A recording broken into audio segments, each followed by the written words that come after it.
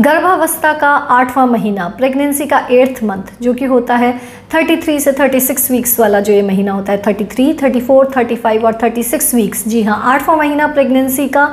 आइए आज हम इसके बारे में डिटेल में जानेंगे कि इसमें क्या ध्यान रखने की ज़रूरत है क्या क्या चेंजेस होते हैं आपकी बॉडी के अंदर क्या बच्चे के अंदर चेंजेस आते हैं? और सबसे एक इंपॉर्टेंट चीज़ जो मैंने इस आठवें महीने के बारे में अपने ही पेशेंट से सुनी है बहुत ओपीडी के अंदर मरीज़ आते हैं और बहुत बोलते हैं कि, मैडम, बहुत ध्यान रखने की ज़रूरत है ना? क्योंकि हमने सुना है कि आठवें महीने के अंदर बच्चा होता है तो वह सर्वाइव नहीं करता। सातवां महीने का बच्चा भी सर्वाइव करता है और नाइन्थ मंथ का बच्चा भी। यानी कि अगर डिलीवरी सातवें महीने में हो जाए तो ठीक है, या फिर नाइन्थ मंथ में हो जाए तो भी ठीक है। पर आठ मासा जो बच्चा होता है, आठवें महीने में जो बच्चा पैदा होता है, मैडम, वो नहीं रहता है। तो क्या सच में ऐसा होता है? जी नहीं, बिल्कुल भी नहीं।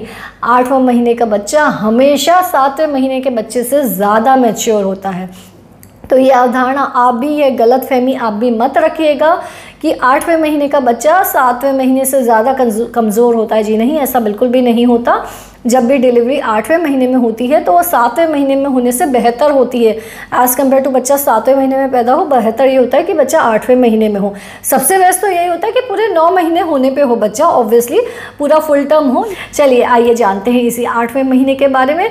जिस महीने में औरतें काफ़ी इम्पेशेंट हो जाती हैं यानी कि वो बस अपनी ड्यू डेट को ही देखती रहती हैं कि कब दिन आने वाला है कि आ, मेरी डिलीवरी होगी और ये मेरा प्रेगनेंसी वाला काम ख़त्म होगा। तो ये जो आठवां महीना होता है इसके अंदर बच्चा जो है वो लगभग 16 से 18 इंचेस के बीच में उसकी लेंथ होती है 16 से 18 इंच के बीच में। बच्चे का वज़न लगभग पौने दो से ढाई किलो के बीच का बच्चे का वज़न हो जाता है।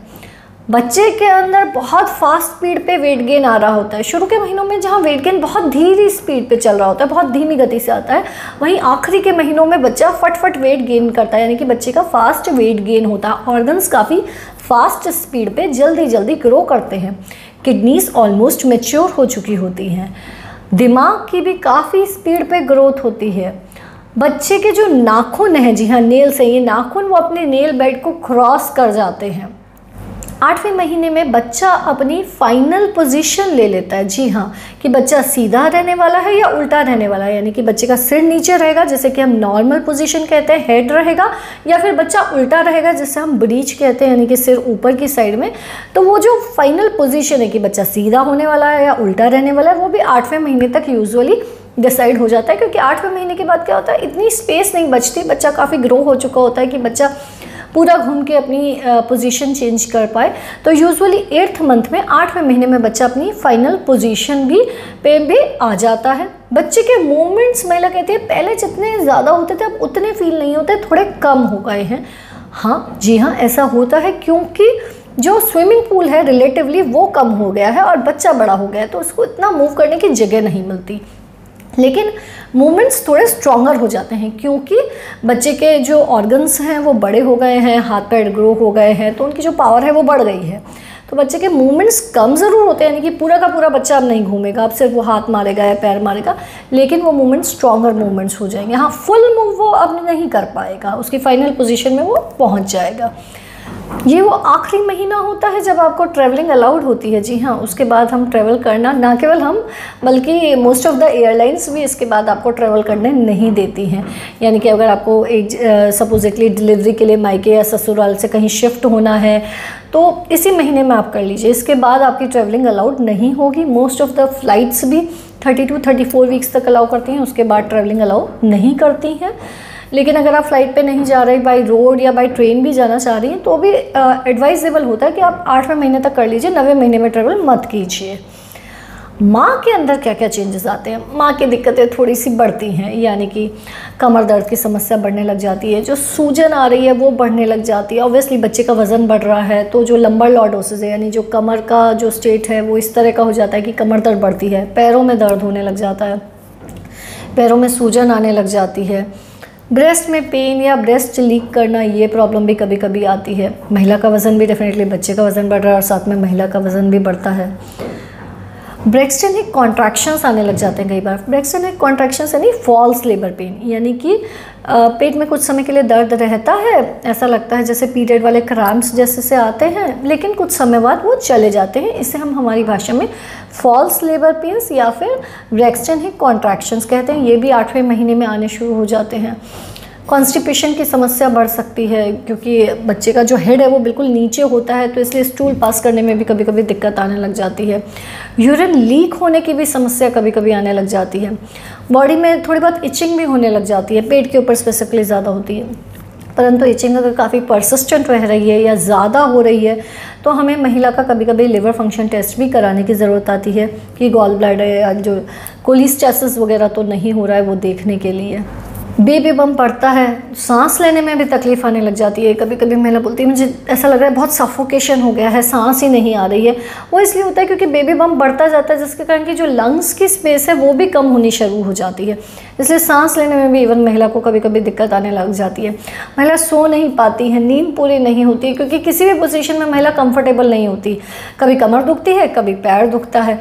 साथ में एसिडिटी भी बढ़ जाती है। तो नींद भी पूरी नहीं हो पाती है, वो भी एक बहुत कॉमनली प्रॉब्लम आती है।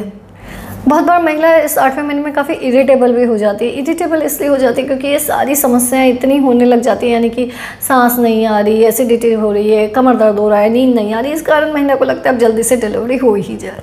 तो ये चेंजेस आते हैं महिला के अंदर। इस आठवें महीने के अंदर जो मेनली आपके डॉक्टर जिस चीज़ का ध्यान रखते हैं या जो जो टेस्ट करते हैं, उसमें मेनली क्या रहता है? डॉक्टर आपकी सोनोग्राफी करके देखते रहते हैं कि बच्चे की ग्रोथ ठीक से हो रही है, उसका वज़न मॉनिटर किया जाता है, बच्चे के चारों तरफ़ पानी देखा जाता है कि वह ठीक रह रहा है, कम तो नहीं हो रहा है, बच्चे की तरफ़ जाता हुआ ब्लड फ्लो ठीक है या नहीं है ये चीज़ें आपके डॉक्टर डेफिनेटली देखेंगे इस टाइम पे। यूरिन टेस्ट भी किया जाता है। यूरिन टेस्ट इसलिए किया जाता है कि उसमें एल्ब्यूमिन वगैरह तो नहीं आ रहा। आपकी बीपी मॉनिटरिंग किया जाता है कि आपका बीपी ठीक रह रहा है बीपी तो नहीं बढ़ रहा है। बहुत बार जिन महिलाओं का हीमोग्लोबिन थोड़ा कम की साइड में चला होता है तो हीमोग्लोबिन का टेस्ट भी रिपीट किया जाता है कि आपका हीमोग्लोबिन ठीक है या कम है। अगर बाई चांस ज़्यादा कम रह रहा है तो कभी कभी आयरन के इंजेक्शन्स देने की भी ज़रूरत आती है। इस आठवें महीने में बहुत से लोग अपना वो हॉस्पिटल बैग को पैक करना भी शुरू कर देते हैं कि कभी भी डिलीवरी के लिए जाना पड़ सकता है। एक चीज़ हमारे हॉस्पिटल में हम लोग हॉस्पिटल बैग नहीं मंगवाते हैं, यानी कि पेशेंट्स को जो हमारे हॉस्पिटल में आ रहे होते हैं, उन्हें किसी भी प्रकार का हॉस्पिटल बैग लाने की ज़रूरत नहीं रहती है, क्योंकि हम सभी चीज़ें हॉस्पिटल से ही डायरेक्टली सप्लाई करते हैं। हम मरीज़ को कहते हैं कि सिर्फ़ आप और आपकी फ़ाइल, ये दो चीज़ें लेकर आइए, बाकी हमें और किसी भी प्रकार की चीज़ की रिक्वायरमेंट नहीं होती, परंतु आपको हॉस्पिटल बैग बैग प्रिपेयर करना है या नहीं करना, वो आप अपने डॉक्टर से ज़रूर पूछ लीजिए, क्योंकि सभी हॉस्पिटल्स में ये फैसिलिटी नहीं होती है कि वो सभी चीज़ें हॉस्पिटल से प्रोवाइड करें। तो अगर आपका हॉस्पिटल ये फैसिलिटी दे रहा है तो बहुत अच्छी बात है, और नहीं दे रहा है तो आप अपना हॉस्पिटल बैग प्रिपेयर कर लीजिए। डिलीवरी के लिए कौन कौन सी चीज़ों का हमें ध्यान रखना है कि ये सिम्टम्स हों या ये चेंजेस हों बॉडी के अंदर तो हमें हॉस्पिटल जाना है। उसका डेडिकेटेड वीडियो वैसे मेरा है कि हॉस्पिटल जाने का समय क्या होता है, आप उसे देख सकते हैं। फिर भी मैं ब्रीफ में बता देती हूँ, अगर लेबर पेन शुरू होते हैं तो पानी छूट जाता है तो बच्चा बल्कि मूवमेंट्स काफ़ी कम हो जाए तो या फिर ब्लीडिंग शुरू हो जाए तो। इनमें से कुछ भी चालू हो जाए तो आपको हॉस्पिटल जाने की ज़रूरत रहती है। हॉस्पिटल जाने का सही समय, उस पर मेरा डेडिकेटेड वीडियो है, आप उसे देख सकते हैं अगर आप आठवें महीने में चल रहे हैं तो। आठवें महीने के अंदर बहुत ज़्यादा एक्सरसाइजेस ओवर मत कीजिए। जितना आप नॉर्मल करिए उतना ही रखिए। कभी कभी नॉर्मल डिलीवरी को लेके पेशेंट्स काफ़ी एंथुसियास्टिक हो जाते हैं और बहुत ज़्यादा एक्सरसाइजेस बढ़ा देते हैं। तो वो नहीं कीजिए, क्योंकि हम आठवें महीने में नहीं चाहते कि डिलीवरी हो। प्री टर्म डिलीवरी नहीं होनी चाहिए। तो आठवें महीने में थोड़ा सा साइलेंट रहिए नाइन्थ मंथ में जाके आप अपनी एक्सरसाइजेस बढ़ा सकते हैं। आपके पास हॉस्पिटल के कॉन्टैक्ट नंबर्स होने चाहिए।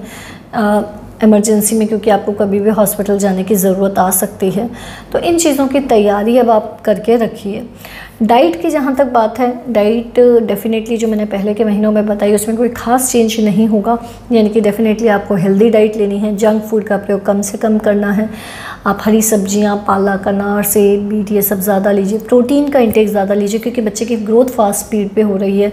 तो आप अंकुरित मूंग है, मोट है, पालक है, ब्रोकोली है ड्राई फ्रूट्स हैं, पनीर है, ये चीज़ें ज़्यादा लीजिए। लिक्विड का प्रयोग ज़्यादा कीजिए। पानी, नींबू पानी, नारियल पानी, सूप जूस छाछ, ताकि बच्चे के चारों तरफ़ जो पानी है वो मेंटेन रहे, आपकी डिलीवरी होने में आसानी रहे। अगर किसी कारणवश आपका सिजेरियन भी होना है तो भी लिक्विड ज़्यादा लीजिए। ये मत सोचिए सिर्फ़ डिलीवरी होने वाले लोगों को लिक्विड ज़्यादा लेना होता है, क्योंकि बच्चे की प्रॉपर ग्रोथ के लिए भी वो पानी बहुत ही इंपॉर्टेंट रोल प्ले करता है। आई होप इस आठवें महीने के बारे में जो कुछ आप जानना चाहते थे, वो मैंने क्लियर कर दिया होगा। फिर भी आपको कोई कन्फ्यूज़न तो हो कमेंट बॉक्स में लिख के आप पूछ सकती हैं। नाइन्थ मंथ की डिटेल डेफिनेटली चैनल पे अपलोडेड है। डिलीवरी में क्या होता है सिजेरन में क्या होता है, दोनों में क्या डिफरेंस रहता है, इसके बारे में अगर आपको कोई भी डिटेल्स जाननी हो और अभी से आप ये समझना और जानना भी सीखें कि ब्रेस्ट मिल्क के लिए क्या करना चाहिए तो ये इन चीज़ों के बारे में भी आपकी इन्फॉर्मेशन रहेगी नॉलेज रहेगी तो अच्छा रहेगा। इनके बारे में डेडिकेटेड वीडियोस हैं हमारे, जो कि आप देख सकते हैं। फिर भी कोई कन्फ्यूज़न हो तो कमेंट बॉक्स में लिखिएगा। चैनल को सब्सक्राइब कीजिए। धन्यवाद।